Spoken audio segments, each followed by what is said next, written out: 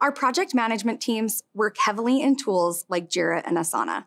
While these tools are great for tracking work, they don't provide the visual reporting we need to make critical resourcing and timing decisions about projects. So we turn to Lucid for capacity planning and creating timelines.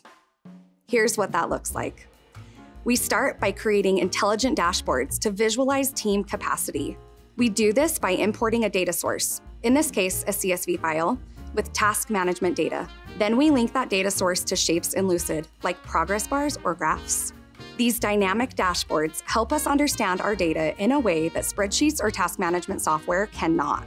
As a result, we're able to allocate resources to a project in the most efficient way possible. Next, we plan out when the work will get done using timelines.